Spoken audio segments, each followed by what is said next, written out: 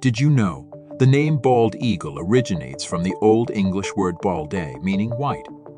This term was used to describe the eagle's white head feathers that stand out in contrast to its dark body. The bald and bald eagle doesn't refer to the absence of feathers on the head, but rather to the white feathered appearance, distinguishing the mature bird from the younger ones that have darker plumage.